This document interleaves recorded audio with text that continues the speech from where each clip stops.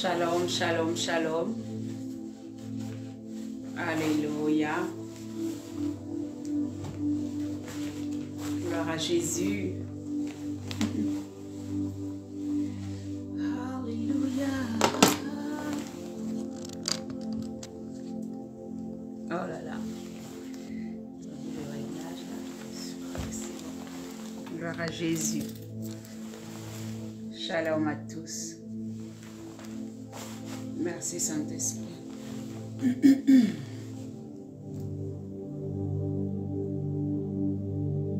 Shalom, shalom, shalom, bien-aimé. Merci Saint-Esprit. Rebus kontalabashikiri.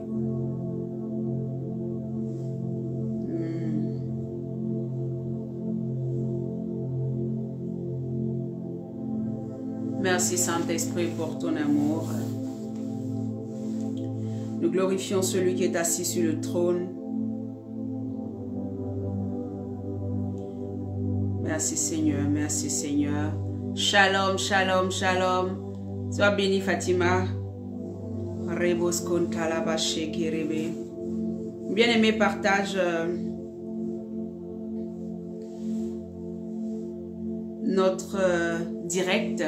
Alléluia.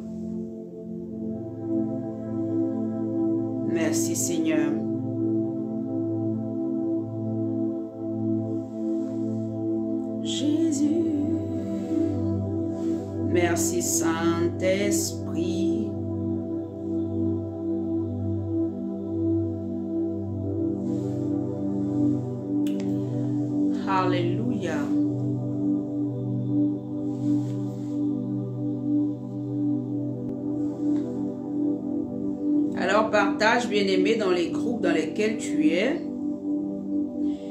Commence à dire à quelqu'un, ben on a commencé, hein. Venons manger la parole de Jésus-Christ de Nazareth. Alléluia. Merci Seigneur.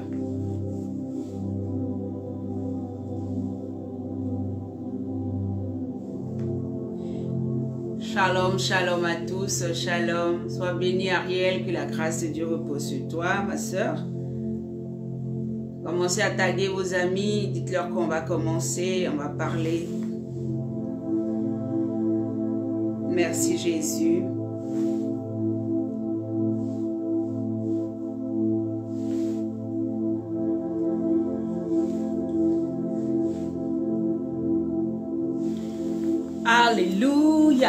Gloria Seigneur, nous bénissons ton nom, nous voulons te rendre toute la gloire, tout l'honneur, toute la magnificence. Merci pour ce temps que tu nous donnes encore, Saint-Esprit de Dieu. Merci, ô ami fidèle, toi qui nous enseigne, toi qui nous parle, toi qui nous conduis sur le chemin de la vie, toi qui connais, Seigneur, véritablement nos aspirations et ce qui est bon pour nous. Nous voulons honorer ton nom, Seigneur. Nous voulons glorifier ton nom, Seigneur. Prends le contrôle de toutes choses. Que nos cœurs véritablement te recherchent dans ta parole. Et que, Père éternel, nous restons attachés, nous restons figés, nous restons collés à toi, Saint-Esprit. Lebros Gloria mayan tarabaché. Shalom à tous, que la grâce de Dieu repose sur vos différentes vies au nom puissant de Jésus-Christ. Shalom la fille de sa mère, soit bénie. Shalom, shalom, shalom. Bien-aimés, euh, depuis euh, le début de cette année, nous avons commencé, bien aimés, nous sommes en février, fin février déjà, nous avons commencé à parler sur euh, une œuvre nouvelle par le Saint-Esprit. Bien aimé, pourquoi une œuvre nouvelle par le Saint-Esprit? Simplement parce que les temps sont mauvais et si l'Esprit de Dieu n'est pas avec nous, bien-aimés, nous risquons de nous perdre. Voilà pourquoi le Seigneur a donné le thème « Une œuvre nouvelle par le Saint-Esprit ». Beaucoup, beaucoup vont croire que ce thème-là, c'était simplement de venir et puis recevoir une puissance. Oui, la puissance de pouvoir euh, euh, euh, résister aux forces des ténèbres qui ont pris une certaine puissance à ce niveau dans, lequel, dans le monde dans lequel nous sommes. Si le Saint-Esprit ne fait pas une œuvre nouvelle en nous, bien-aimés, nous allons nous retrouver en train d'être emmenés loin de la présence de Dieu. Le monde dans lequel nous sommes est un monde tellement perverti et chaque mois, chaque jour, chaque année, ça s'aggrave. Alléluia, ça s'aggrave, ça s'aggrave. Voilà pourquoi nous avons besoin du Saint-Esprit qui est l'esprit de vie, l'esprit de vérité, celui qui est capable de nous conduire, celui qui est capable de nous maintenir dans la présence de Dieu. Si l'Esprit de Dieu n'est pas avec nous cette année, bien aimé, nous allons nous retrouver à faire ce que Dieu ne veut pas. Nous allons nous retrouver bien-aimés, sur un chemin que Dieu n'a pas tracé pour nous. Nous allons nous retrouver loin de sa présence. Nous allons avoir des révélations ou des choses en nous qui vont simplement être faites pour nous conduire loin de la présence de Dieu, loin de notre point de contact. Alléluia. Voilà pourquoi cette année, le Seigneur a donné le thème, une œuvre nouvelle par le Saint-Esprit, une œuvre nouvelle dans le sens où toi qui marches avec Dieu, le Seigneur a besoin de renouveler sa présence tous les jours en toi de renouveler son intimité tous les jours en toi, d'aller à un autre niveau tous les jours avec toi. Alléluia, parce que si tu restes dans la monotonie, tu risques de penser que Dieu n'est pas avec toi et tu risques de commencer à, avoir les yeux, à rechercher tout et n'importe quoi au même moment. Alléluia. Alors je veux t'encourager véritablement à t'attacher à la présence de notre Dieu, à t'attacher à Yeshua, à Mashiach, à t'attacher à Jésus-Christ de Nazareth, à son esprit qui est capable de tout faire. Bien aimé, j'aimerais t'encourager. Partage encore, partage encore euh, cette, cette vidéo pour que quelqu'un soit sauvé, pour que quelqu'un puisse véritablement entrer dans une communion parfaite avec son Dieu. Bien aimé, aujourd'hui, le Seigneur veut nous envoyer encore. Nous sommes toujours dans le sous-thème, c'est prépare-toi à sa rencontre. Alléluia. On n'est pas pressé. Prépare-toi à sa rencontre parce que le Seigneur veut nous parler, le Seigneur veut nous envoyer quelque part. Alléluia. Et donc aujourd'hui, le, le, la base de notre, euh, de notre développement, aujourd'hui notre thème, hein, sur le passage biblique sur lequel nous allons nous baser, c'est 1 Pierre 2, versets 6 à 8. 1 Pierre 2, versets 6 à 8. Nous aurons beaucoup de, de, de, passages. 1 hein. Pierre 2, versets 6 à 8. Est-ce que je peux lire la parole de Dieu? Est-ce que quelqu'un peut dire, je suis prêt à entendre ce que le Saint-Esprit veut me dire ce matin? Est-ce que quelqu'un peut prier dans son cœur pour dire Saint-Esprit, euh, je ne suis pas venu là pour me promener cette page, je ne viens pas le voir, hmm, qu'est-ce qu'elle va dire de nouveau, non. Mais je viens à ta rencontre, esprit de vie, parle-moi, viens encore produire le vouloir le pouvoir en moi, viens encore me donner de la force véritablement dans ta présence, viens encore me bâtir, viens encore faire quelque chose de nouveau. Alléluia. Je lis la parole de Dieu, 1 Pierre 2, verset 6 à euh, à 8. Alléluia. Nous bénissons le nom du Seigneur Jésus. Alors la parole de Dieu nous dit, 1 Pierre 2, euh, c'est ça, verset 6 à 8. Car il est dit dans l'écriture, voici, je mets en Sion une pierre angulaire. Alléluia. Choisie, précieuse. Amen. Je mets en Sion une pierre angulaire choisie, précieuse. Et celui qui croit en elle ne sera point confus. Celui qui croit en elle ne sera point confus. Verset 7. L'honneur est donc pour vous qui croyez. Alléluia. Mais pour les incrédules, la pierre qu'ont rejeté ceux qui bâtissaient est devenue la principale de l'angle et une pierre d'achoppement et un rocher de scandale.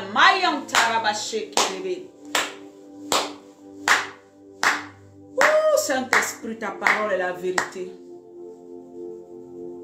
Ta parole est la vérité. Merci Saint-Esprit. Merci Saint-Esprit.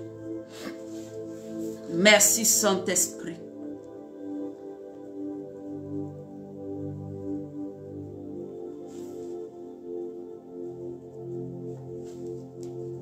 Merci Saint-Esprit. Bien-aimé, dis à Dieu que cette parole-là te, te, te change. Dis à Dieu, Seigneur, que ta parole aujourd'hui me change. Que ta parole aujourd'hui m'emmène à un autre niveau. Alléluia. Alléluia. Alléluia. J'aime ta présence, Seigneur Jésus. J'aime ta parole, Seigneur Jésus. Elle me bâtit, elle me construit, elle m'équilibre, elle me protège. Alléluia.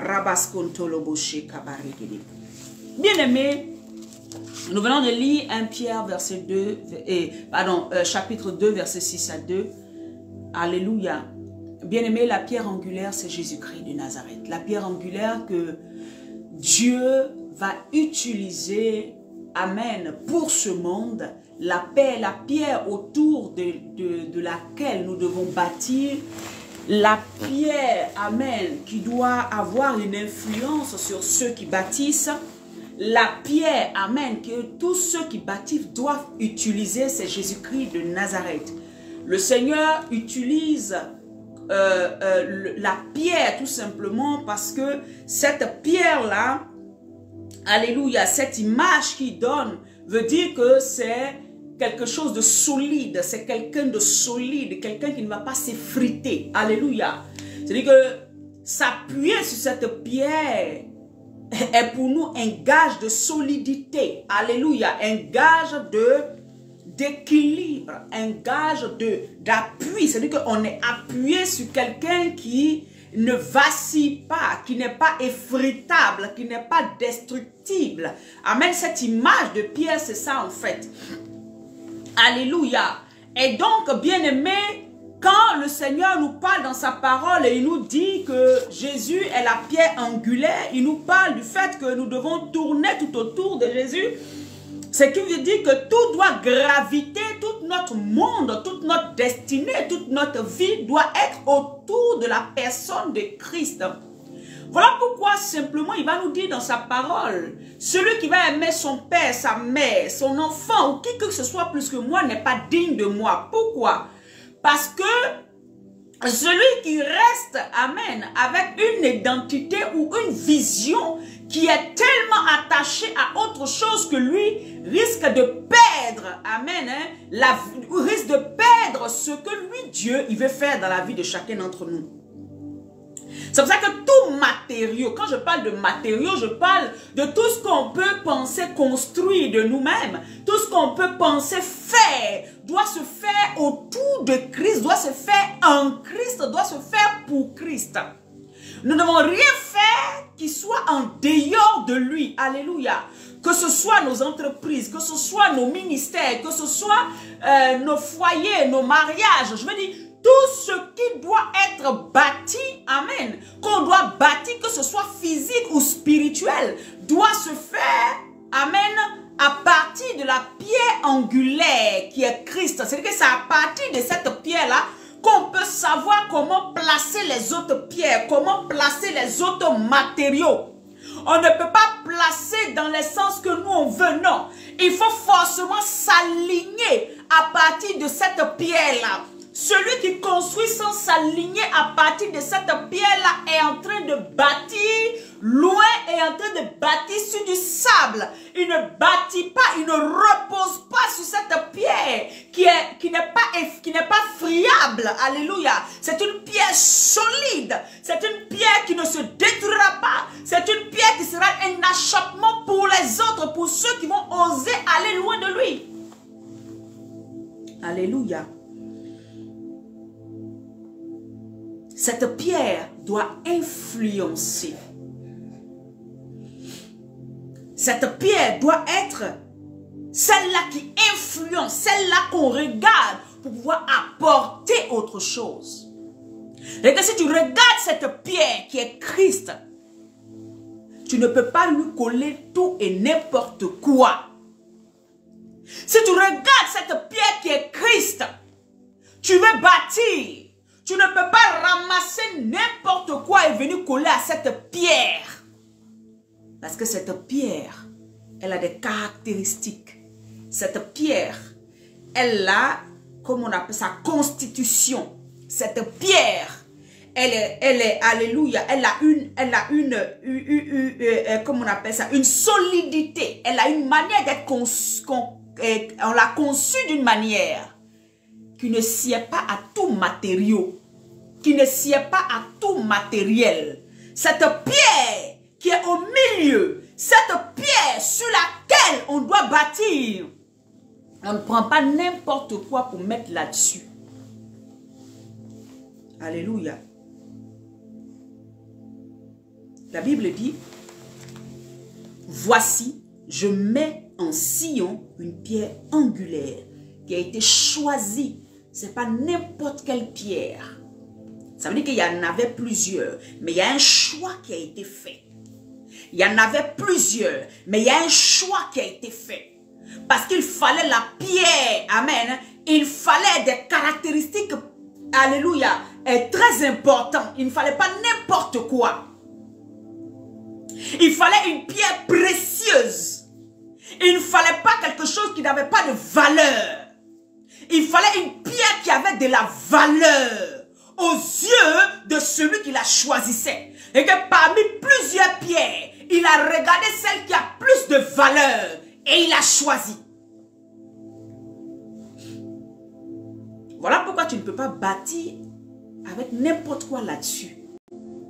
Parce que celui qui t'a donné cette pierre, celui qui t'a présenté cette pierre, a choisi la pierre la plus précieuse. A choisi celle qui avait plus de valeur. A choisi celle qui avait tous les atouts. A choisi celle qui était capable de briller de mille feux. A choisi celle qui était capable d'avoir la solidité qu'il faut tous les attributs éternels. Il n'a pas choisi, bien aimé, dans, euh, euh, euh, je veux dire, n'importe comment. Le Père n'a pas choisi n'importe comment. Il a choisi. Alléluia. Cette pierre angulaire de valeur, cette pierre angulaire si précieuse. Alléluia. Et c'est Jésus-Christ de Nazareth. Jésus a de la valeur. Christ, aux yeux de Dieu, une valeur extraordinaire. Christ, aux yeux du Père, c'est son Fils. Voilà pourquoi la Bible dit en Jean 3,16, Alléluia, qu'il a donné son Fils unique afin que quiconque croit en lui ne périsse pas, mais qu'il ait la vie éternelle. C'est-à-dire qu'il n'a pas donné un autre fils, il n'a pas donné un ange, il n'a pas donné un archange, il n'a pas donné une autre personne,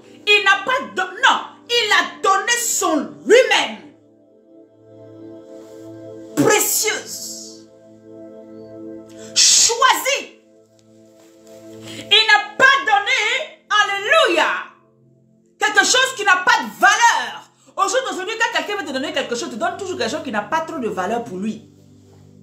Mais quand le Père a voulu donner, il a donné quelque chose qui avait de la valeur. Il a donné son sang. Il a donné sa vie. Il s'est donné lui-même.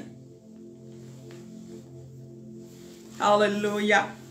La Bible dit, je mets en Sion une pierre angulaire, choisie et précieuse. Comment tu vois le Seigneur Jésus? Est-ce qu'il est précieux à tes yeux? Est-ce que le Seigneur Jésus a une valeur inestimable à tes yeux?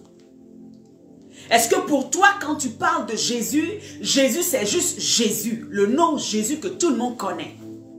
Au jour d'aujourd'hui, regardez, il y a un boom qui s'est passé sur TikTok. Cette chanson qui était là depuis des années. Et aujourd'hui, tout le monde a fait la reprise de cette chanson. Quand je regarde autour de moi, je vois ta gloire. Seigneur Jésus, tu vois non? Comment ne pas te louer? Seigneur Jésus. Et cette chanson-là fait un boom actuellement. Je dis, qu'il soit chrétien, les athées, ceux qui ne connaissent même pas. En fait, dans la bouche de tout le monde, cette chanson-là a été reprise. Tout le monde reprend cette chanson. On voit derrière que waouh, le nom de Jésus est en train d'être dit partout. Mais ceux qui la disent, est-ce qu'ils sont en train de simplement prononcer des mots ou ils sont en train de voir que celui de qui on parle, il a une valeur inestimable. Parce qu'il y a des gens qui ont fait la reprise de cette chanson. Quand tu regardes la vidéo, tu sens que c'est juste le son. C'est juste, alléluia, une reprise. Comme ça a fait un boom, il faut que j'ai des, des, vues. Il faut que moi aussi, on sache que j'ai aimé le chant. Waouh, ça a pris. Oui, ils sont en train de chanter. Mais est-ce que ce nom qui est prononcé dans ce chant a cette valeur-là à les yeux? Alléluia.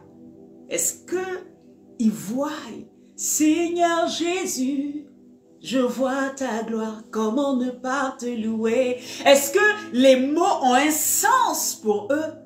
Est-ce qu'effectivement ils voient la gloire, ce précieux nom qui nous a été donné? Est-ce que ces personnes-là voient ce précieux, ce personnage précieux? Alléluia. Dieu a donné son Fils unique afin que quiconque croit en lui ne périsse pas, mais qu'il ait la vie éternelle. Alléluia. C'est vrai, le nom de Jésus est en train de prendre. Et le nom de Jésus a déjà même été ce qu'on veut. On veut, on veut pas. Le personnage le plus, le plus, le plus, le plus emblématique de, depuis des, des générations et des générations, c'est Jésus. Celui qui est le plus connu sur la surface de la terre depuis des siècles, c'est Jésus, plus de 2000 ans. Alléluia. De qui on parle le plus, c'est Jésus. Celui dont la notoriété n'a pas été ternie, c'est Jésus. Parce que Dieu ne pouvait pas, le Père ne pouvait pas permettre que son nom s'effrite, s'efface facilement. Parce qu'il est quelqu'un qui a été choisi. Il est précieux. On ne parle pas de quelque chose de précieux tout de suite et puis après on le met à la poubelle. Voilà pourquoi sa notoriété ne va que grandissante. Est-ce que vous savez de qui nous parlons? Est-ce que tu sais à qui tu appartiens? La Bible dit, et celui qui croit en elle ne sera point confus. Celui qui croit en cette pierre angulaire, en Jésus-Christ de Nazareth, qui a été donné, qui a été choisi, qui est précieux, ne sera point confus. Alléluia. Bien-aimé, je vais te donner un exemple simple. Il ne sera plus confus dans le sens où, s'il se met à bâtir sur cette pierre angulaire, rien ne lui sera, rien ne sera, comment on appelle ça, il n'y aura pas de confusion en fait. Il ne faut pas que je cherche un, un autre mot, le mot il est clair. Il n'y aura pas de confusion dans la vie de cette personne. Est-ce que vous me comprenez? Bien vous savez, la lune et le soleil.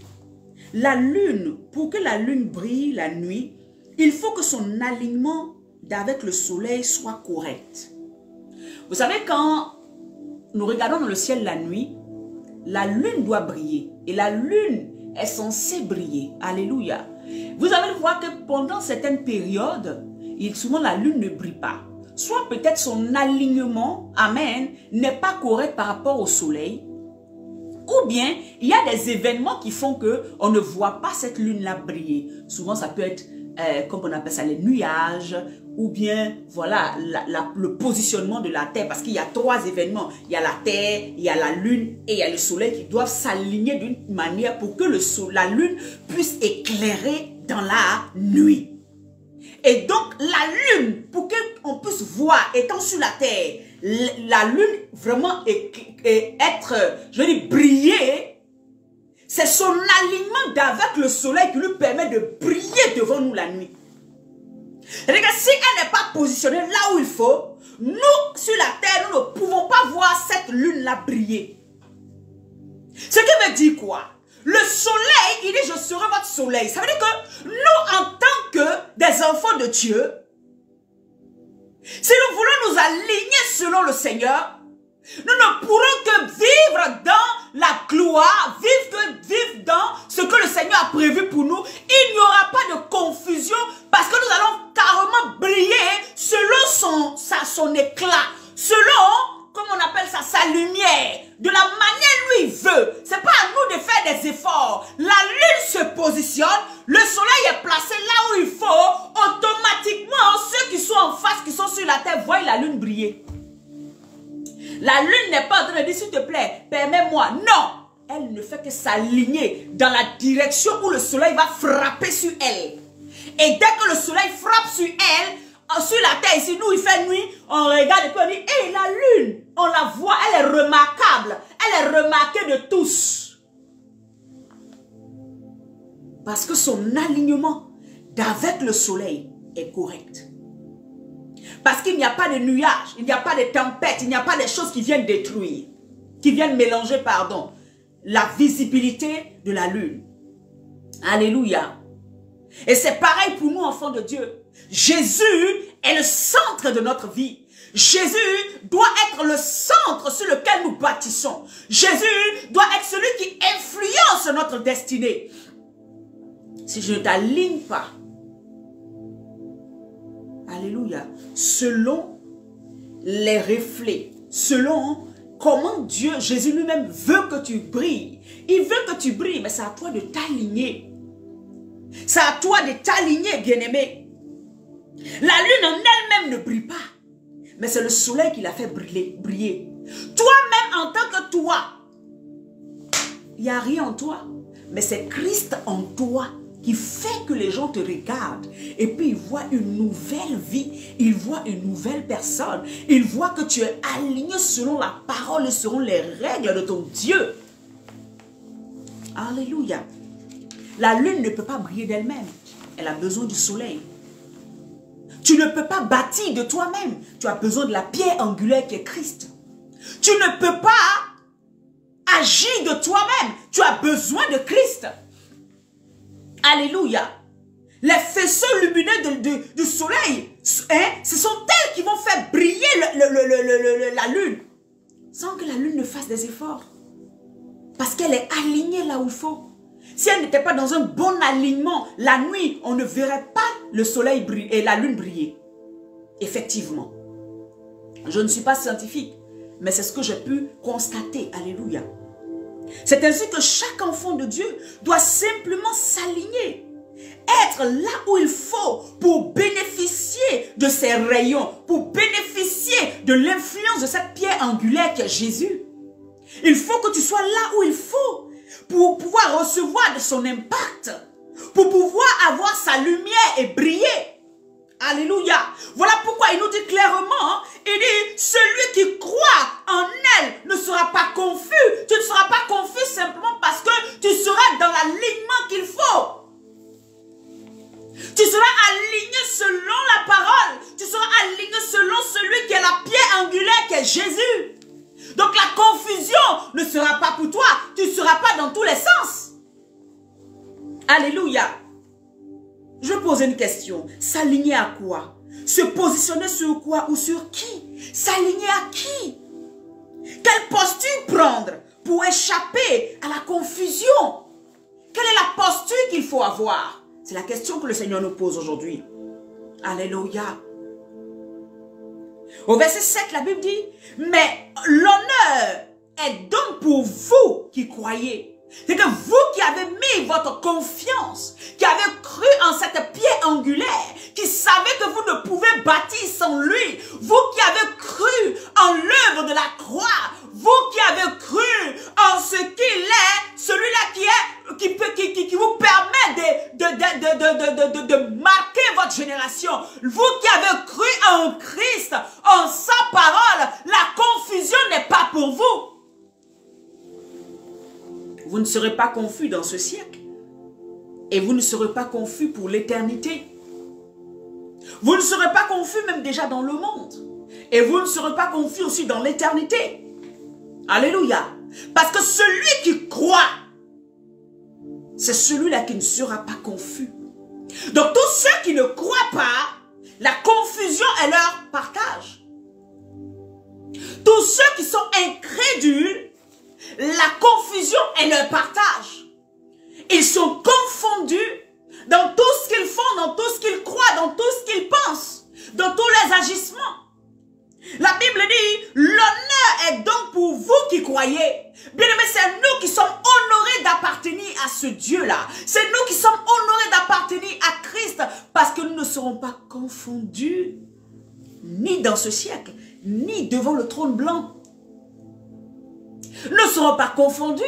Pas seulement dans le ciel, mais aussi sur la terre, si nous ne serons pas confondus. La confusion ne vient que quand nous ne sommes pas alignés comme il faut. Et c'est ce que je disais tout à l'heure. Je disais que, Amen, cette pierre angulaire-là a besoin que nous nous alignions à elle, que nous nous positionnons sur, elle, que nous soyons, nous ayons une posture par rapport à elle. Une posture par rapport à la pierre angulaire. Nous aligner par rapport à la pierre angulaire qui est Jésus-Christ. Se positionner par rapport à la pierre angulaire qui est Jésus-Christ.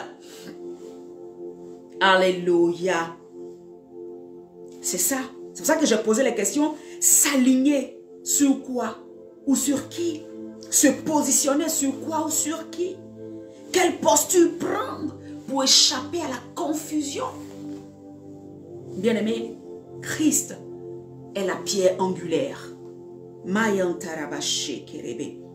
Bien-aimé, j'aimerais simplement encore te lire, continuer le verset 7, il dit, mais pour les incrédules, la pierre qui ont rejeté les bâtisseurs qui bâtissaient, c'est que tous ceux qui sont en train de bâtir sans Christ, qui sont en train de faire sans Christ, qui le font par leur propre force, qui veulent se marier par leur force, qui veulent avoir un ministère par leur force, qui veulent avoir, alléluia, ou une entreprise par leur propre force. Ceux qui sont en train d'édifier leur propre vie par leur propre force, qui ne comptent pas sur Dieu. Pour eux, Dieu n'a rien à voir avec cette histoire de ma vie. C'est ma vie, je la gère moi-même. Ce sont mes enfants, je les gère moi-même. Ceux qui se disent qu'ils n'ont besoin de rien, ils n'ont pas besoin de Dieu, ceux-là sont des incrédules. Parce que quand tu crois que ta vie ne peut que tourner autour, s'aligner et briller à partir de Christ, tu le laisses prendre le contrôle de toutes choses. Parce que Christ a son impact sur notre vie terrestre, mais aussi sur la vie éternelle. ce n'est pas seulement la vie éternelle, ce n'est pas seulement la vie terrestre. Il y a des gens qui croient en Christ que sur la vie pour la vie terrestre, mais ils n'ont rien à faire avec la vie éternelle. Il y a des gens qui croient aussi à la vie éternelle qui n'ont rien à faire avec la vie terrestre. Je vous dis que Christ, dans les deux aspects du salut, va toucher notre vie sur la terre, mais aussi la vie éternelle. Ces deux choses sont les deux saluts dont nous avons besoin. Alléluia. Ceux qui bâtissent sans lui, ça veut dire que sans sa parole, qui ne s'appuient pas sur sa parole, qui ne bâtissent pas sur Christ, il n'est pas la pierre, il n'est pas le centre, il n'est pas celui sur qui on pose les, les fondements de ce que nous devons faire. La Bible dit que tout fondement, tout ministère a pour fondement Christ. Si ton foyer, ton mariage n'a pas de fondement, son fondement, c'est-à-dire que sa pierre angulaire sur laquelle tu bâtis n'est pas Christ, tu as échoué. Tu es un incrédule parce que tu as pensé faire de toi-même. Tu es un orgueilleux parce que tu as pensé faire de toi-même. Si ton entreprise, même ton entreprise où tu gagnes de l'argent, tu as pensé faire pour toi-même, tu as oublié que tout ce qui vient dans ta vie, c'est la gloire de Dieu et c'est le Seigneur qui te donne. Donc, même ton entreprise que tu as, c'est pour la gloire de Dieu. Donc tout ce que tu fais là-bas doit honorer Dieu. Donc Christ doit être la pierre angulaire de ton entreprise, de ton business, de ton travail. Il doit être le socle. Même tout ce que tu gagnes, tout ce que tu injectes là-bas, il doit tourner, tout doit tourner autour de Yeshua. C'est ça la pierre angulaire. C'est-à-dire que tout est autour. Et tous ceux qui osent faire les choses sans Christ vont se heurter à cette pierre. Ça veut dire qu'au moment où ils sont en train de faire, à un moment, le Seigneur va dire, me voici. Et ils vont mal construire. Parce qu'ils n'ont pas eu pour reflet. Ils n'ont pas laissé l'influence de cette pierre les guider, les conduire, les aider à bâtir. Non, ils ont regardé à autre chose. Ils se sont laissés conduire par d'autres dieux. Le Dieu de ce siècle qui est maman. Ils se sont laissés conduire dans leur ministère avec maman. Ils se sont laissés conduire dans leur travail, dans leur mariage par maman. Ils se marient pour l'argent. Ils se marient, ils font des business pour l'argent. Ils font des enfants pour l'argent. Ils font tout ce qu'ils font pour l'argent. Donc, c'est maman qui est leur Dieu. Amen. ils décident d'aller sans Christ. Ils travaillent sans que ce soit Christ qui soit glorifié dedans, dans leur travail. La preuve, quand tu vas les dire, quand par exemple ils s'asseyent, jamais dans leur pensée ça ne vient par exemple d'honorer Dieu avec le fruit de ce qu'ils gagnent. Genre, à ce mois-là, vraiment Seigneur, tu m'as gardé, tu m'as donné ce travail. Et ce travail, ça peut aider quelqu'un. Se souvenir d'un orphelin, se souvenir même de la maison de Dieu. Se souvenir d'un homme de Dieu, d'une servante de Dieu, de quelqu'un. Non, ils ne penseront pas à ça. Pourquoi? Parce que maman est telle qu'ils vont, maman va mettre à leurs yeux, non mais pourquoi soutenir un orphelin? Pourquoi donner à un ministère? Pourquoi faire ci? Ah, ils n'ont qu'à quitter là-bas. Ceux-là, ils sont comme si. C'est ça. Parce que c'est pas Jésus, la pierre angulaire. Quand c'est Jésus, on tremble pour faire les choses de Dieu. Parce que c'est lui qui est le centre. Alléluia. Ah. La Bible dit que tous ceux qui vont oser être incrédules et bâtis loin de lui, ils vont se, ils vont heurter. Ils vont se heurter automatiquement à la pierre angulaire. C'est-à-dire qu'ils ils se retrouvent dans un combat en même temps contre Dieu. Et qu'eux-mêmes, ils ne veulent pas, ils n'ont même pas su. Hein. Le fait qu'ils ont décidé d'aller sans Dieu, ils se retrouvent en face de Dieu et Dieu va les résister. Parce qu'ils ont été orgueilleux. Parce qu'ils ont voulu faire les choses d'eux-mêmes. Alléluia. Donc Dieu va les résister. Vous voyez comment ça se passe C'est terrible, hein? C'est comme ça. Quand tu prends des décisions sans Dieu, tu verras qu'à la suite, comme tu l'as fait de toi-même, Dieu va te résister. Il va te résister. Parce que tu as été orgueilleux. Tu as voulu faire les choses de toi-même. Tu as pensé bâtir de toi-même. Tu as pensé construire de toi-même. Tu avais oublié qu'il y avait quelqu'un qui s'appelle Jésus-Christ, qui est, qui est celui-là qui est le fondement de ta vie sur lequel tu dois te reposer pour faire toutes choses. Même boire de l'eau, c'est avec Jésus on boit de l'eau. Hmm? Alléluia. La Bible dit, mais pour les incrédules, la pierre qu'ont rejeté ceux qui bâtissaient est devenue la principale de l'angle. Ceux qui ont érigé, qui ont bâti leur vie sans Christ. Ceux qui ont, qui ont vécu cette terre sans Christ. Qui vont vouloir même vivre cette vie sans Christ. Bien aimé, à un moment de leur vie, qu'elle soit terrestre ou céleste, ils vont rencontrer Jésus. Et ça sera Jésus qui aura un mot à dire sur leur destinée. Mais comme ils n'ont pas commencé avec lui, Jésus va dire, je ne vous connais pas. Jésus ne va pas pouvoir les reconnaître devant son Père. Et c'est ça qui est là, est devenu la principale de l'angle. Bien aimé, devant le trône blanc, devant le jugement, hein, la Bible dit que ceux qui ne sont pas à Christ sont déjà jugés. C'est-à-dire que c'est Jésus qui va les juger. Parce qu'ils n'avaient pas accepté Jésus. Parce qu'ils n'ont pas eu comme appui Jésus n'était pas le maître. Alléluia. Et devant le jugement, devant le trône de gloire, au dernier jour, Alléluia, c'est Jésus qui sera là. Tu as dit que c'était le Bouddha qui était bon. C'est ce que tu avais dit sur la terre. On t'a parlé de Jésus. Tu as entendu parler de Jésus partout. Tu as refusé. Tu as cru en cette doctrine. Alléluia. Tu as cru en ça. On t'a dit que le seul chemin, la vérité et la vie, c'était Christ. Tu t'es, renfermé sur toi. Tu as dit non, ce n'est pas Christ. Non, il y a un autre chemin. Ce jour-là, devant le trône de gloire, devant le trône blanc, devant le trône de jugement selon l'Apocalypse, il y aura une pierre qui va te faire tomber. Une pierre d'achoppement. Comme quelqu'un qui rencontre une pierre qui est en train de marcher, puis ça le fait trébucher. Tu pensais marcher, mais quand ils vont te, tu seras, tu vas, tu vas être mis en face de Christ, devant le trône blanc. Tu vas trébucher, tomber. On va te dire, voilà celui qu'il te fallait. Tu vas regarder, tu vas dire, mais ah, mais j'avais entendu, mais je ne croyais pas. C'est déjà passé, tu es, devant, tu es déjà au jugement. Alléluia. Hey, Jésus sera une pierre d'achoppement au jugement dernier pour plusieurs. Si cette terre déjà, il est déjà une pierre d'achoppement pour plusieurs. Un rocher de scandale pour plusieurs. Les gens le regardent comme quelqu'un qui n'a pas, alléluia, qui n'a rien à leur offrir. il préfère aller s'adonner à plusieurs choses. Il préfère faire plein de choses.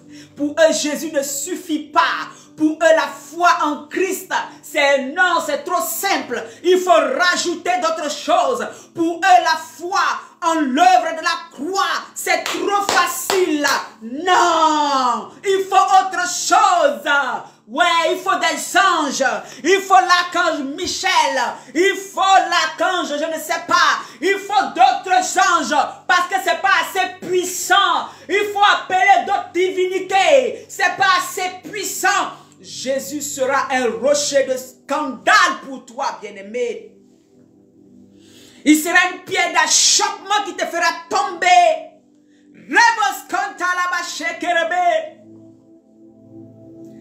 Ce jour-là, quand on va te présenter devant le Dieu que tu as pensé adorer, tu as pensé louer, il va te dire, tu as crié à mon nom, mais tu avais négligé celui que j'avais mis en sillon. Tu avais négligé cette pierre principale qui est devenue la principale de l'angle. Avant que Christ ne vienne, tu pouvais passer par plusieurs chemins. Mais dès que Christ est arrivé, le Fils de Dieu est venu mourir à la croix. C'est fini, il n'y a pas d'autre chemin, il n'y a pas d'autre voie, il n'y a pas. Toi qui dis, il faut forcément que je parte voir Uziel, quoi, quoi, quoi? Tu crées les noms des anges, tu crées les noms des gens, tu crées des choses, et puis tu es là, il faut ça. Tant que lui vient pas, non, non, non, c'est lui qui m'a montré le chemin. Quel chemin tu me parles? Pourquoi Jésus ne nous l'a pas dit? Pourquoi Jésus lui-même n'a pas dit, je m'en vais, je vous laisse Uziel, je vous laisse Raphaël, je vous laisse tant. Ils sont au service de Christ. Il n'a pas besoin de vous le laisser, de vous les laisser, pardon. Il vous a laissé le Saint-Esprit. Il vous a laissé le Saint-Esprit qui vient faire quoi? Parler de Christ, qui vient faire quoi? Vous convaincre d'avoir foi en celui qui est mort à la croix pour vous. Je vous disais s'aligner à quoi? S'aligner à l'œuvre de la croix. Premier point. Le rocher de scandale, c'est ça. Parce qu'il est mort sur la croix, on ne l'a pas considéré. Parce qu'il est mort sur un bois, la loi même le dit, hein. Maudit soit quiconque hein, est pendu au bois. Comme il a été pendu au bois, vous l'avez rejeté. Vous avez trouvé que son sacrifice n'était pas assez grand, n'était pas assez fort. Au jour d'aujourd'hui même, on a des serviteurs qui disent que la croix, le sacrifice de Jésus n'a pas tout payé. Oh Seigneur, oh Seigneur, oh Seigneur et beaucoup d'enfants de Dieu, vous allez vous heurter un jour. Vous vous heurterez un jour devant cette pierre principale qui est Jésus-Christ de Nazareth. Vos paroles vont vous condamner un jour. Vous savez, tout ce week-end, j'ai été très triste. Le Saint-Esprit m'a fait vivre ce que Alléluia. Le cœur de Dieu. Ce matin, j'en parlais avec euh, mon époux. Je sais qu'il y a beaucoup de choses qui vont arriver dans ce monde. Je sais qu'il y en a déjà qui se passent. Je sais que les gens vont aimer l'évangile qui leur fait du bien les gens vont aimer que des hommes de Dieu leur créent toujours des choses. Je sais tout ça. Je l'ai lu dans la parole et j'ai foi. Je sais qu'ils vont avoir de la démangeaison, des doctrines qui vont leur plaire. Je sais. Mais vous, savez bien aimé, tu peux savoir des choses. Mais quand le Saint-Esprit te fait réaliser, j'ai pleuré vendredi, j'ai pleuré samedi, j'ai pleuré dimanche. Je vous dis la vérité. Ce matin, j'en parlais avec mon mari, il m'a dit, ma douce, c'est normal. Je dis, Seigneur, maintiens-nous dans ta présence. Au jour d'aujourd'hui, la croix n'a plus de force. La croix est vilipendée. La croix est rejetée depuis un très très long moment. Alléluia. Et nous voyons des personnes aujourd'hui qui disent que Jésus n'a pas tout payé. Bien-aimé, je ne viens pas insulter, non mais j'ai été déchiré dans mon âme. Mon âme a été déchirée. C'est comme si le Saint-Esprit me faisait entendre ces paroles-là. Et puis, il disait, mais mon sacrifice, j'ai payé pour vous.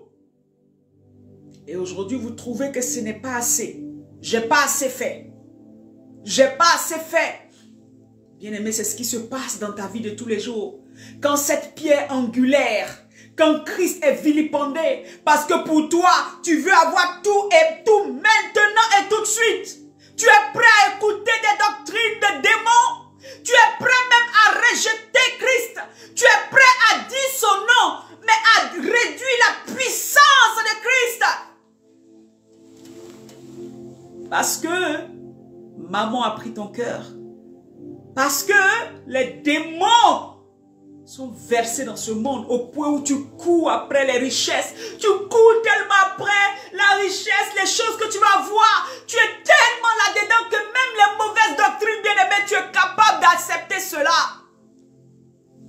J'ai pleuré. Ce week-end, j'avais pas envie de parler à quelqu'un. J'avais juste envie de rester là pour dire, Seigneur, ton église. J'ai pleuré. J'ai dit, Seigneur, ton église. Seigneur, tes enfants. Seigneur, ton peuple. Je bénis l'éternel. C'est pour ça que je vous disais, comment s'aligner. La pierre angulaire, on bâtit en fonction d'elle. On ne bâtit pas en dehors d'elle. On s'aligne à elle. C'est pour ça que je donne l'exemple de la lune. On s'aligne.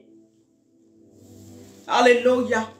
Bien aimé, prends Galate 3 versets. Galate 3 verset. Oh Jésus. Verset 11 à 13. La Bible dit et que nul ne soit justifié devant Dieu par la loi. Cela est évident puisqu'il est dit, le juste vivra par la foi. Aujourd'hui, bien aimé, la foi pour toi, c'est rien. Il faut que tu rajoutes des, des œuvres dedans. Il faut que tu rajoutes des choses. Amen. Pour que tu puisses croire que ton Dieu va t'exaucer. Est-ce qu'il avait besoin de toi pour aller à la croix? Tu n'as plus foi en l'œuvre de la croix. Tu n'as plus foi en ce qu'il a fait, ce qu'il a acquis pour toi à la croix. Son sang qui a coulé. Tu as moindri cette puissance, l'œuvre de la croix. Quand vous avez vu tous les, disciples, vous les avez vu prêcher quoi? Allez dans la parole, prenez toutes les lettres, prenez les évangiles. Qu'est-ce qu'ils ont prêché? La repentance. Qu'est-ce qu'ils ont prêché? Se préparer pour rencontrer, pour rencontrer Christ. Qu'est-ce qu'ils ont prêché? Le royaume des cieux. Montrez-moi une partie dans la Bible les gens ont le temps à vous dire d'être riches.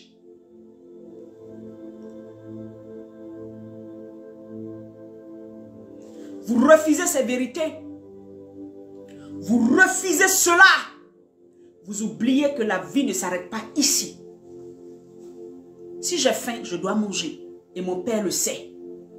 Si je veux me déplacer, mon père sait qu'il va me donner une voiture pour me déplacer parce que peut-être les transports, il n'y a pas assez ou quoi ou quoi.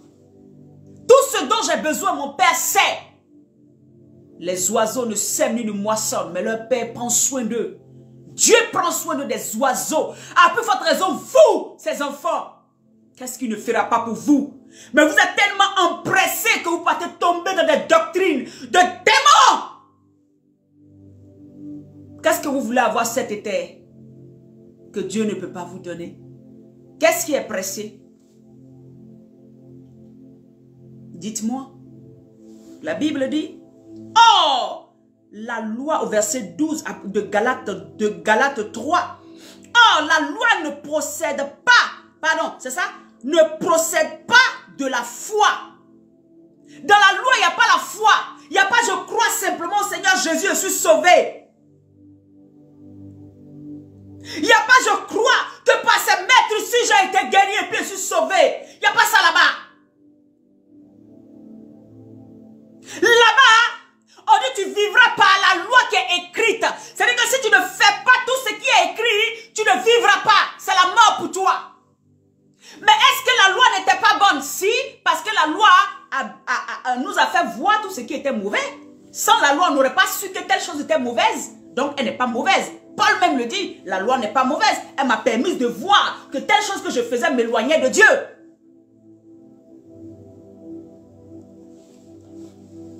Alléluia.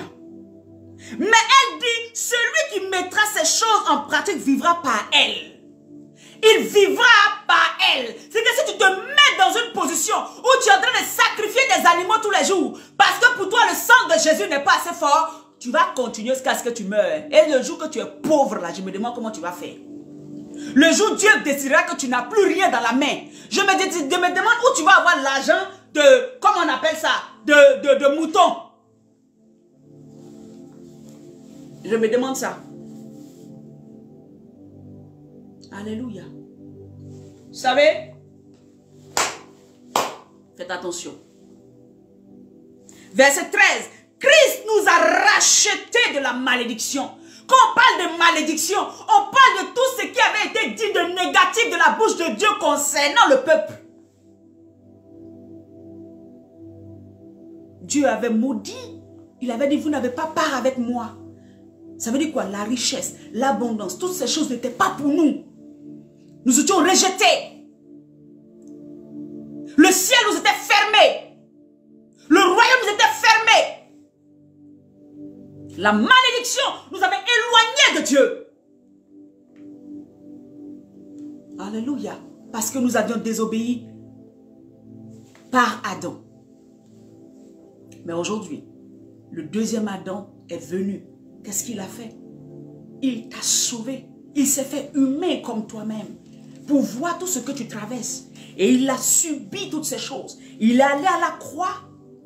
Il a été tenté en toutes choses. Et il a donné son sang pour que toi, tu sois réconcilié avec le Père. Quand on est réconcilié avec quelqu'un, on ne bénéficie pas de ce qui est chez lui. Donc quand on est réconcilié avec Dieu, on est réconcilié seulement pour aller au ciel. C'est-à-dire que sa grâce qu'il a fait, les bontés qui sont sur la terre ici, là, il ne va pas nous donner ça.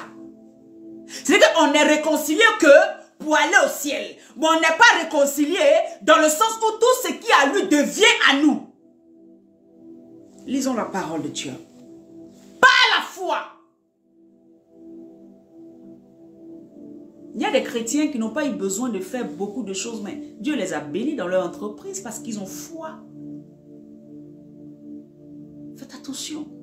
La Bible dit Christ nous a racheté de la malédiction de la loi, étant devenu malédiction pour nous. Et que tout ce qui était malédiction, il a pris cela à la croix. Car il est écrit, maudit est quiconque est pendu au bois. Alléluia, Rabas Prenons Hébreu, bien-aimé. Hébreu, Rebos Oh Saint-Esprit. Hébreu 2, verset 6 à 18. Hébreu.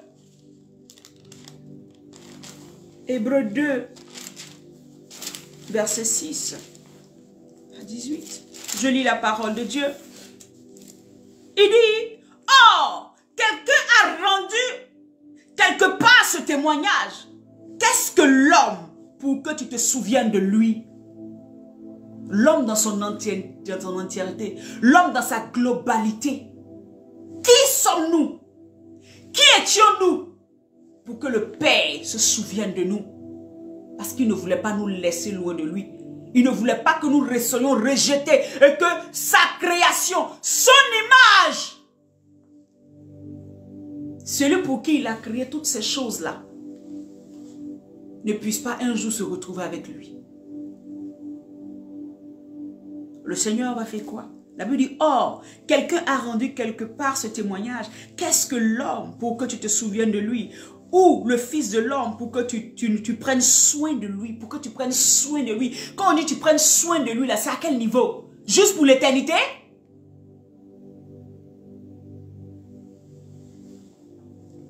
Verset 7. Tu l'as abaissé pour un peu de temps au-dessus des anges.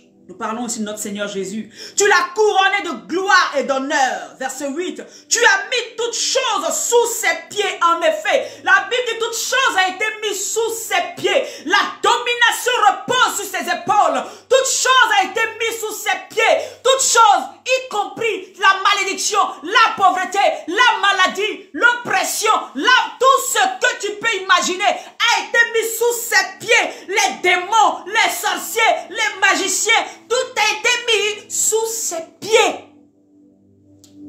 En effet, en lui soumettant toutes choses, Dieu n'a rien laissé qui ne lui soit soumis. Dieu n'a rien laissé qu'on parle de rien. Ça veut dire que tout ce que humainement tu peux croire, tout, ce que tu peux connaître, tout ce que tu peux avoir comme entendement, toute connaissance que tu as, tout a été soumis et rien n'a été laissé. Rien, rien et rien. Tout a été soumis à Christ. Voilà pourquoi la croix, la Bible dit, il dit tout est accompli. Prends mon esprit, Père. Tout est accompli. Qu'est-ce qui a été accompli? L'œuvre de la croix. Qu'est-ce qui s'est passé là-bas? Qu'est-ce qui a été accompli? Je reviens là-dessus. Tu as mis toutes choses sous ses pieds. En effet, en lui soumettant toutes choses, Dieu n'a rien laissé. On dit Dieu, le Père n'a rien laissé qui ne lui soit soumis. Cependant, nous ne voyons pas encore maintenant que toutes choses lui soient soumises. C'est ceux qui ne voient pas, ceux qui n'ont pas la révélation de la croix, ceux qui n'ont pas la révélation de Christ, ceux qui n'ont pas la vérité en eux. Ils ne voient pas, ils ne savent pas que toutes choses ont été soumises. En esprit, on le sait. Peut-être que tu vois les gens mourir de la chair. Mais effectivement, Dieu a été, la mort a été soumise à Christ.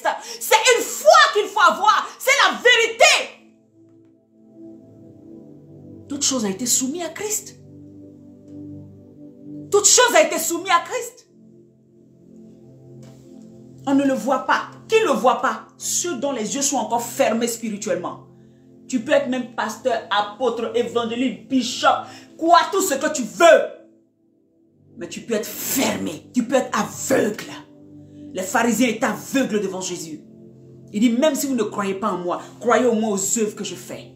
Tellement ils étaient enfermés dans leur bulle. Tellement ils étaient dans leur système. Et c'est à ça qu'on est confronté aujourd'hui. Je pleurais tout ce week-end pour le corps de Christ. Je pleurais tout ce week-end pour tous les âmes qui sont en train de se perdre. De leur camp là-bas, ils vont dire, oh, celle elle connaît rien. Elle, elle, c'est quand même les servantes de Dieu. Elle connaît quoi dans les choses de Dieu? Ils vont prendre l'esprit de divination pour pouvoir venir diviner sur ma vie. Tu vas diviner, tu vas pas diviner. Je suis servant de l'éternel de Jésus-Christ de Nazareth. Tu vas voir les choses. Mon Dieu a déjà tout soumis sous ses pieds. Tout ce qui me fatiguait, oh, va me fatiguer, oh, ma destinée, oh, mon quoi, oh, a été soumis à Christ, je le crois. Qu'est-ce que tu vas me dire de nouveau? Qu'est-ce que tu vas dire de nouveau? Et c'est ça le problème d'un enfant de Dieu. La Bible dit en, deux, en 1 Pierre 2, il dit, ceux qui auront cru, l'honneur est pour vous. C'est un honneur pour toi de croire que Christ est la pierre angulaire. Il n'y a pas d'autre chemin. Il n'y a pas d'autre voie. C'est un honneur pour toi, bien-aimé. Bénis l'éternel tous les jours. Toi qui ne cherches pas plus. Toi qui es simplement en train de mettre Dieu simplement dans la simplicité. Qu'est-ce qu'on n'aura pas vu? La Bible dit, et maintenant, et pas encore que toute chose lui soit soumise. Verset 9. Mais celui qui a été baptisé pour un peu de temps au-dessus, pardon, celui qui a été abaissé pour un peu de temps au-dessus des anges. C'était pour un peu de temps que Christ était descendu. Il est remonté prendre sa gloire. Et dans cette gloire, la Bible que nous sommes assis avec lui dans les lieux célestes, dans le lieu Éphésiens, c'est écrit. Nous sommes assis avec lui dans sa gloire. Ça veut dire que la gloire de Christ est aussi notre partage.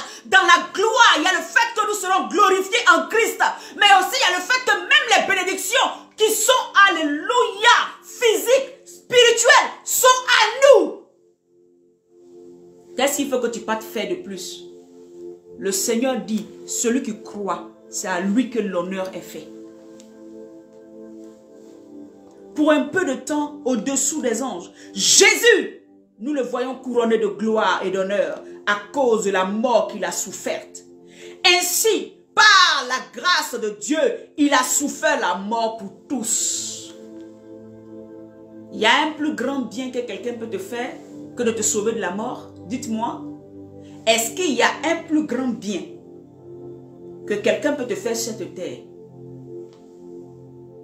même dans les siècles à venir, te sauver de la mort éternelle, te sauver de la mort? Nous les chrétiens en Christ, nous ne mourrons pas. Nous sommes un esprit. L'esprit ne meurt pas. La chair peut partir parce qu'il pour retourner au Père, il faut que l'esprit soit dégagé de cette chair de limitation. Cette chair qui limite toute chose. Et c'est la convoitise de cette chair qui nous maintient loin de Christ. Il faut que nous, soyons, nous en soyons libérés. C'est une délivrance même. Pour ceux qui croient en Christ, c'est une délivrance. Ça vous choque, mais c'est vrai. Parce qu'elle est limitée, cette chair. Cette chair, elle aime la convoitise. Elle est envieuse. Cette chair est toujours en train de regarder les choses et puis vouloir tout et tout, tout et n'importe quoi. Cette chair est toujours dans la colère. Cette chair est toujours... Les œuvres de la chair sont évidentes. Donc c'est une délivrance pour nous quand l'esprit est détaché de cette chair. Voilà pourquoi pendant le harpage, pendant que nous serons attirés par le Saint-Esprit, ce n'est pas la chair qui monte. C'est l'esprit dans un corps glorifié. La Bible dit, il a souffert la mort pour tous. Verset 10. Il convenait en effet que celui pour qui et par qui sont toutes choses, pour qui et par qui sont toutes choses, et qui voulait conduire à la gloire beaucoup de fils, qui voulait conduire à la gloire beaucoup de fils, et que la volonté de Dieu, c'est de te conduire à la gloire, toi. Dans la gloire, il y a richesse, il y a bénédiction, il y a tout dedans. Mais il y a aussi la gloire éternelle. Ça a été ça, son motif, son leitmotiv, sa motivation qui a fait qu'il est descendu sur la terre, mourir à la croix là. C'est qu'il voulait te mener à la gloire. Il veut t'amener à la gloire. Une gloire que tu auras sur la terre, c'est vrai, mais aussi dans l'éternité. Ne reste pas seulement les yeux fixés sur la terre. Ça va t'emmener loin. Les désirs de la chair vont prendre la place. Voilà ce qui a motivé le cœur de Christ. Il t'a regardé comme ça, il dit, waouh, il faut que je les emmène dans cette gloire qu'ils ne connaissent pas. Parce qu'ils n'ont pas goûté cette gloire. Ils ne savent pas ce qu'il y a dedans. Voilà pourquoi ils sont en train de se compromettre comme ils se compromettent du matin au soir. S'ils savaient, s'ils savaient, si leurs yeux étaient ouverts, alors je descends pour eux. Je vais payer le prix pour eux. Conduit à la gloire beaucoup de fils. Est élevé à la perfection par les souffrances. Le prince de leur salut. Jésus est le prince de notre salut. Verset 11. Car celui qui sanctifie et ceux qui sont sanctifiés sont tous issus d'un seul. Christ et nous sommes issus d'un seul. Si nous savons que Dieu, la Bible dit, il est riche en toutes choses. Si toi, si moi et Christ, nous venons d'un seul, le Père, à qui toutes choses appartiennent, qu'est-ce qui peut me manquer sur la terre ici? Qu'est-ce qui peut me manquer sur la terre ici? Mais dans la nouvelle alliance, c'est la foi. La vraie. Pas la foi seulement au miracle, mais la vraie foi. C'est pourquoi il n'a pas honte de les appeler frères. Jésus t'appelle frère. Lorsqu'il dit, j'annoncerai ton nom à mes frères, et je te, je te célébrerai au milieu de l'assemblée. Et encore, je me confierai en toi. Et encore, me voici, moi et les enfants que Dieu m'a donnés. Nous sommes ses frères, mais nous sommes aussi ses enfants. Il y a la dimension de père et la dimension de, de, de, comment, de frère. Parce que nous sommes co-héritiers avec lui. C'est pour cela que Jésus c'est ton frère, mais en même temps, c'est ton Père.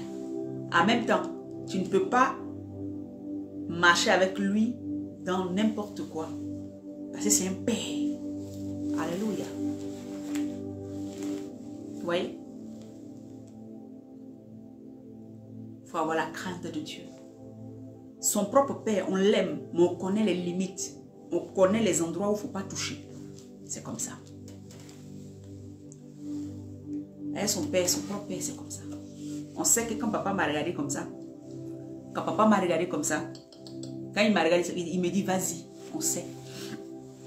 Verset 14, ainsi donc, Puisque les enfants participent au sang et à la chair, il a également participé lui-même afin que par la mort, ouais, les enfants participent au sang et à la chair. C'est-à-dire qu'il fallait que lui, le fils, participe au sang et à la chair. Qu'il vienne donner son sang pour les fils, pour toi, moi. Alléluia.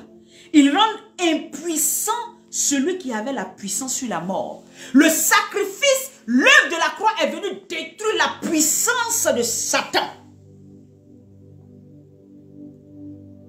La puissance de la mort a été détruite à la croix. S'aligner selon la, la pierre angulaire pour pouvoir bénéficier de cette puissance-là, alléluia, qui est maintenant en Christ, l'autorité sur la mort. La mort n'a plus de puissance sur nous. La mort n'a plus d'autorité sur nous. Nous avons la vie éternelle. S'aligner sur l'œuvre de la croix s'asseoir et méditer sur ce que nous avons acquis à la croix, ce qu'il est venu faire à la croix. C'est ça la vie du disciple accompli. Alléluia. La Bible dit que celui qui avait la puissance de la mort, c'est-à-dire Satan, c'est-à-dire le diable, la croix a détruit la puissance de Satan. La croix lui a enlevé l'autorité, l'a dépouillé de son autorité. La croix l'a dépouillé de sa puissance. La croix, qui était un, un, objet de scandale pour la vision, pour les gens qui étaient là, était une puissance terrible. Satan a perdu son autorité, a perdu sa force. Il a été dépouillé. Alléluia. Cette puissance lui a été ôtée. Il n'a plus de puissance sur la mort. Il n'a plus de puissance. C'est la foi que tu dois avoir. La Bible dit au verset 15, Ainsi, il délivre tous ceux qui par crainte de la mort étaient toute leur vie retenus dans la servitude. Ouais, beaucoup de chrétiens sont toujours dans la servitude, en train de souffrir, combat, combat, combat, parce qu'ils ont peur de mourir. Tant que tu n'as pas compris qu'à la croix, la mort là, tu, tu ne peux pas mourir.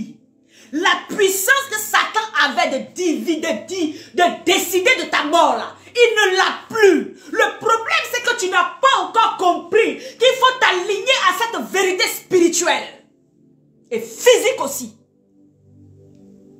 C'est ça qui fait que tu es toujours en captivité.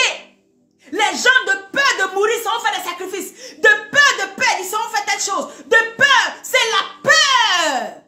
Mais tu n'as pas compris qu'à la croix, Jésus a tout payé.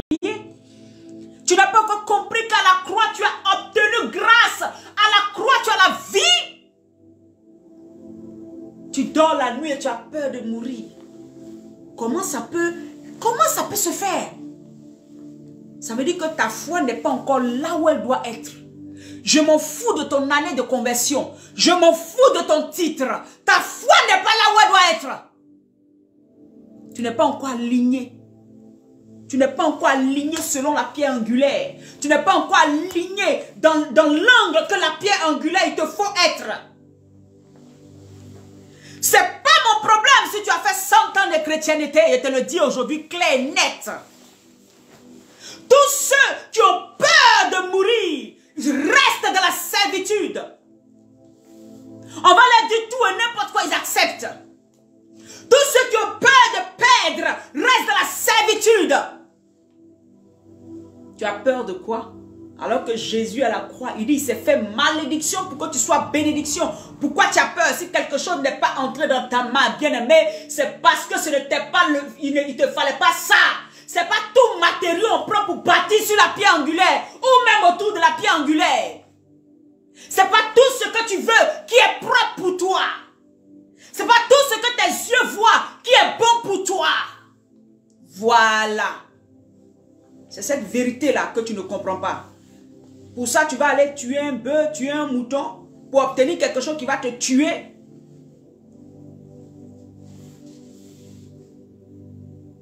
et tu restes, la Bible dit qu'ils sont retenus dans la servitude. Parce que Satan prend la peur là, les pousser à faire beaucoup de choses. J'ai peur de perdre, j'ai peur d'ici, je vais manger quoi, je vais faire quoi, je vais faire quoi, je vais faire quoi? La peur. Que le Seigneur te délivre de cette peur qui vient du diable. Regarde la croix. La Bible dit que Satan a été réduit à l'impuissance par l'œuvre de la croix. Par le sang de Jésus qui a coulé à la croix.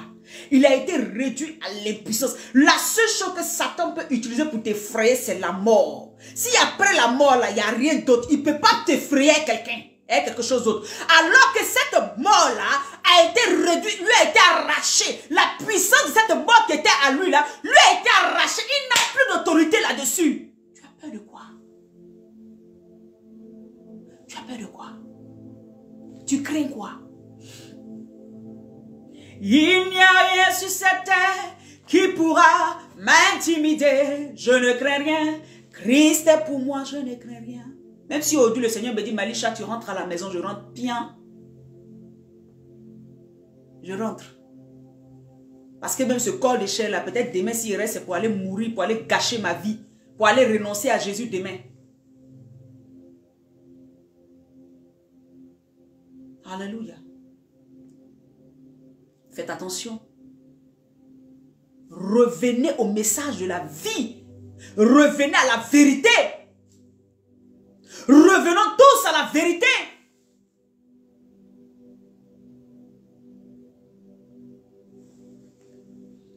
Ainsi, il délivre tous ceux qui, par crainte de la mort, étaient toute leur vie retenus dans la servitude. Assurément, ce n'est pas à des anges qu'il vient en aide. C'est à toi, bien-aimé mais c'est à, la postérité d'Abraham. Alléluia. En conséquence, il a dû être rendu semblable à toutes choses, à ses frères. Vous voyez? On parle de frères, tout simplement parce qu'il va venir dans, dans un corps de chair comme nous, avoir les mêmes sensations comme nous, pouvoir vivre les choses comme nous. Alléluia. Et pouvoir aussi, dans sa nature humaine là, c'est là qu'on dit qu'on est cohéritier avec lui. Sinon, quand c'est dans le ciel, là-bas, là, c'est le Père. Afin qu'il soit un souverain sacrificateur miséricordieux et fidèle dans le service de Dieu pour faire l'expiation des péchés du peuple. L'expiation des On n'a pas dit un seul péché. On ne parlait pas seulement du péché adamique. Toutes sortes de péchés que tu auras fait maintenant ou quoi. Toutes sortes de quoi. Le Seigneur a arraché ça. Verset 18. Car du fait qu'il a souffert lui-même et qu'il a été tenté, il peut secourir ceux qui sont tentés. Jésus peut te secourir quand tu es tenté. Si tu lui demandes son aide, parce que c'est lui la pierre angulaire, si tu es bien aligné, sa force qu'il a eue de, de, de, pouvoir surmonter les, les, les, tentations des adultères, les tentations de, de la boisson, les tentations de toutes ces choses, de, de, du faux, du mensonge. Il a pu, il a pu, il a pu surmonter tout ça. Si tu es aligné comme il faut, sa force, son esprit, tout en vient encore aussi te donner la force. Et tu ne fais pas d'effort. C'est-à-dire que tu n'as qu'à accepter seulement que tout vient de lui. Tu n'as qu'à accepter seulement de sortir des endroits qui te poussent à tomber. Tu n'as qu'à sortir simplement d'être là où il faut. Tu t'alignes à l'œuvre de la croix. C'est l'œuvre de la croix, bien-aimé. C'est là que l'impudicité a été clouée à la croix. C'est là-bas que la maladie a été clouée. C'est là-bas qu'il y a eu tout ce qu'il y a eu. Tout ce qui te fatigue aujourd'hui dans la chair, c'est à la croix que ça a été. Donc si l'œuvre de la croix n'est pas, n'est pas en toi, que tu ne, tu ne la comprends pas, tu, tu, tu ne vis pas cela, la chair va toujours avoir de l'autorité sur toi. Si tu ne comprends pas qu'à la croix, Jésus a cloué cet adultère qui te fatigue. Jésus a cloué la mort. Jésus a rendu à l'impuissance cette mort. Si tu ne crois pas qu'à la croix, ça a été fait. Je n'ai pas dit si tu ne vas pas faire d'autres sacrifices pour croire à la croix, non. et pour, pour, que la croix agisse. Non, j'ai dit, si tu ne crois pas à cette croix-là, ça va toujours agir en toi. Et le Saint-Esprit ne pourra pas te dire non, fais attention, passe ici, ne fais pas ça, agis comme ça, retiens-toi, fais pas ci. Il n'y aura rien. Alléluia. Gloire à Jésus. Je disais, s'aligner à qui? Se positionner sur qui ou sur quoi? Quelle posture prendre? Et aujourd'hui, on a parlé de s'aligner. S'aligner à l'œuvre de la croix. Alléluia. S'aligner à ce que Jésus a fait à la croix. Et donc, vous pourrez lire à la maison. Méditez encore sur ces passages de Hébreu. Amen. Hébreu 2, verset, verset 6 et verset, c'est ça non? Verset 6 à, à 18. Méditez Galates 3, verset 11 à 13. Méditez, alléluia. Méditez sur ces paroles. Corinthiens, 2 hein, Corinthiens 8, verset 9. Méditez sur ces paroles, alléluia.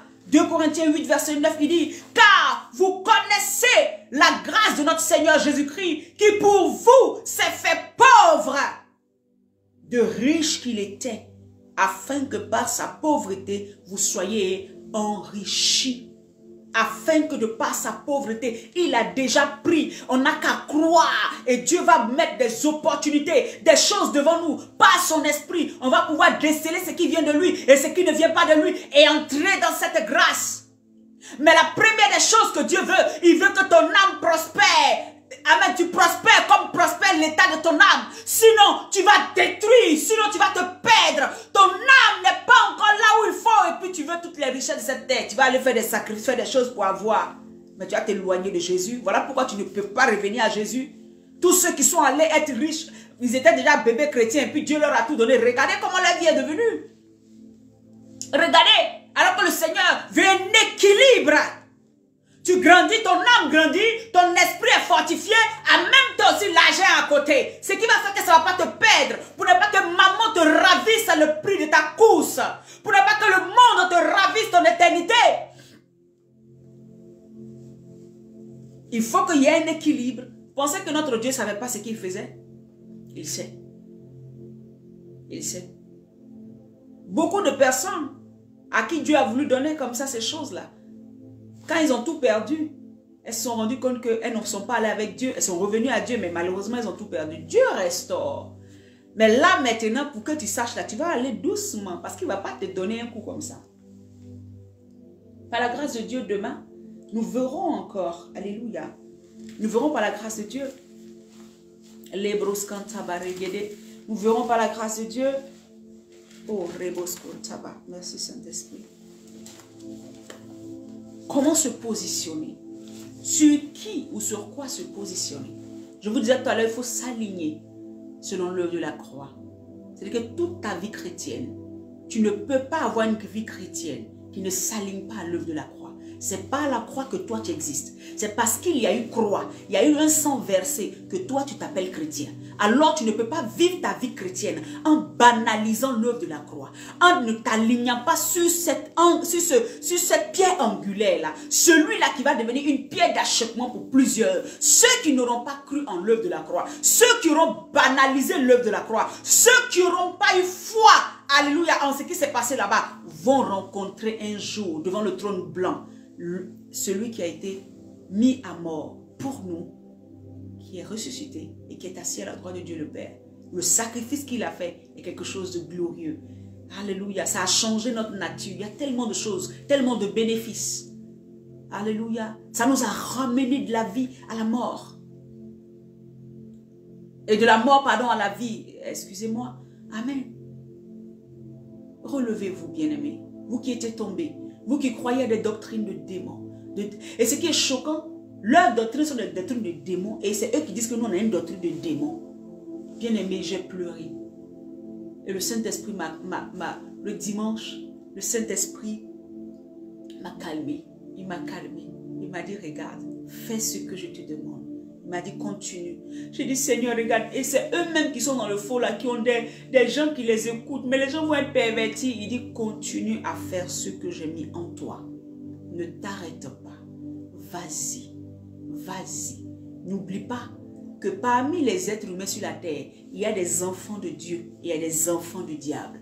Donc les personnes que tu penses qu'ils sont en train de pervertir là, il y a des enfants du diable dedans, qui ne sont pas faits pour être sauvés. Ceux-là, c'est des enfants du diable. Donc ne pleure pas trop en te disant non, ils vont mourir, tout cela. Non, il y a des enfants du diable. Alléluia. Et puis il y a des enfants de Dieu. Sur la terre, tout le monde n'est pas humain. Hein. Tout le monde n'est pas humain. Il y a des animaux, mais qui ont des nez, qui sont comme toi, mais spirituellement, ils sont des animaux. Ils ne sont pas des enfants de Dieu. Amen. Il y a des enfants du diable. Il y a des anges déchus. Il y a des gens qui ont une apparence humaine, mais tout en eux, ce sont des démons physiques.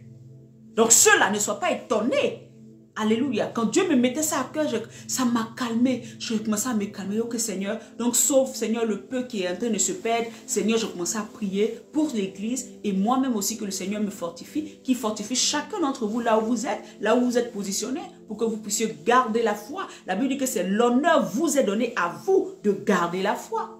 C'est vous qui êtes honoré de pouvoir croire encore en Jésus-Christ de Nazareth et de croire en l'œuvre accomplie à la croix. Alignez-vous, bien-aimés, selon la pierre angulaire. Ne bâtissez pas hors de lui. Ne bâtissez pas loin de lui. Bâtissez sur lui. Fondez-vous sur lui. Fondez vos vies, votre vie, toute votre vie, votre existence, votre ministère, votre destinée sur lui. Alléluia. Que Dieu vous bénisse. Shalom à tous. Bien-aimés, par la grâce de Dieu, demain, nous nous retrouverons ici sur cette même plateforme pour encore célébrer le Seigneur, pour prêcher la parole de vie. Amen. Celle qui donne la vie, celle qui bénit, celle qui remplit, celle qui positionne le nom de Jésus-Christ. Alléluia. Le Seigneur m'a mis quelque chose à cœur, mais j'attends encore deux jours. Dès que c'est bon, je crois que par la grâce de Dieu, quand j'aurai tous les détails, je viendrai vous en parler pour que nous puissions faire un programme ensemble par rapport à ça. Shalom à tous. Je vous aime dans l'amour du Seigneur. Gardez la foi. Ne vous laissez pas ébranler. Alléluia. Gardez la foi. Même quel que soit ce que vous entendez, ne laissez pas et n'écoutez pas tout. Alléluia. Écoutez la sainte parole de Dieu. C'est celle-là qui va vous bâtir. C'est celle-là qui va vous maintenir dans la présence de Dieu. Shalom. Que Dieu vous bénisse. Bye bye, bien-aimés.